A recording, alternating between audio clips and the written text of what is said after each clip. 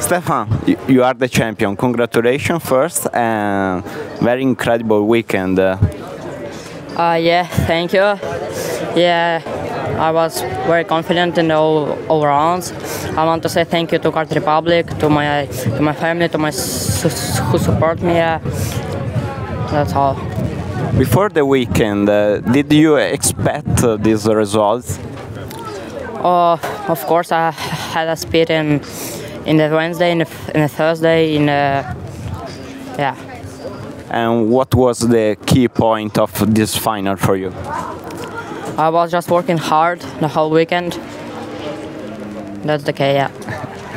Thank you congratulations. Thank you very much. Too.